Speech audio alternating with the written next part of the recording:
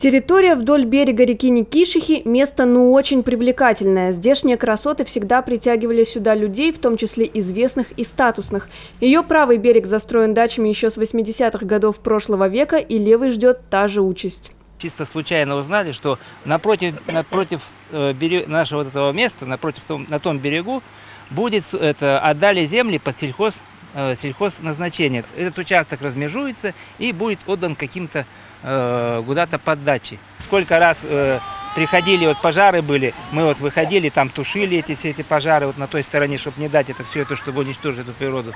Ну и самое-то главное, что вот дети все наши, посмотрите, что мы для них оставим. Вот как в Смоленке пустыню такую, за последние 30 лет река протяженностью 83 километра обмельчала, а нерестовая рыба погибла, но до берегу продолжают расти лекарственные травы, ягоды и грибы. Нынешние дачники боятся, что природные богатства исчезнут совсем. Если еще 30-40 участков начнут снабжаться водой из этой реки, то ей придет конец, и не когда-нибудь, а в год экологии.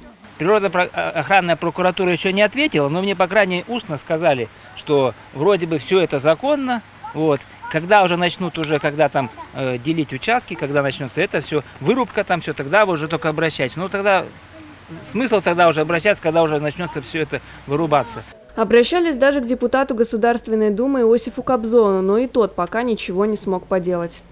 Управление Росприроднадзора по Забайкальскому краю по обращению Шустова Виктора Борисовича сообщает, что данное обращение передано по подведомственности в Управление Федеральной службы по ветеринарному и фитосанитарному надзору по Забайкальскому краю и Амурской области для принятия мер.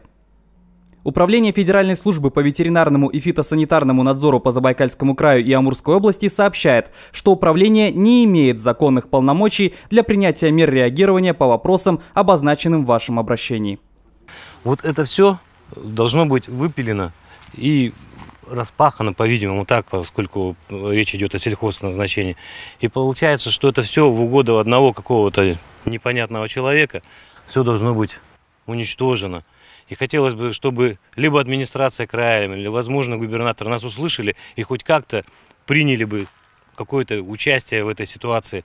Жильцы уверяют, то место, на котором построились они сами, не нанесло природе непоправимого ущерба. И вот сейчас уже речка не та, ну, будем говорить, уже уровень вот, ниже некуда. А если еще тут повырубать, то это потом просто будет лужа. И тот, кто сейчас стремится к красивому, он получит потом просто помойку. Но вот эти дома, ради них тоже же что-то вырубали, чтобы ваши... Нет, ничего не вырубалось. Это была здесь пустая поляна. Вырубки здесь не было никакой абсолютно. Забайкальский писатель Юрий Курц заявил, строительство, если оно все-таки начнется, не обойдется без одобрения местных властей. И находишь же самое уязвимое место, вот это. Можно выше строить, можно ниже строить.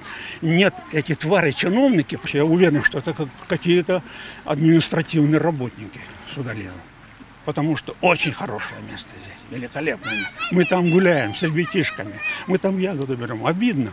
Юрий Курц признается, вдохновение для всех своих книг он черпает здесь, на родном берегу Никишихи, и боится, что от нее останется лишь маленький ручей. Идут косули с позаранку, плывут над нею облака, течет прекрасная горянка, не оскверненная пока. Пока. Наталья Аршинская, Николай Шунков, ЗАП ТВ.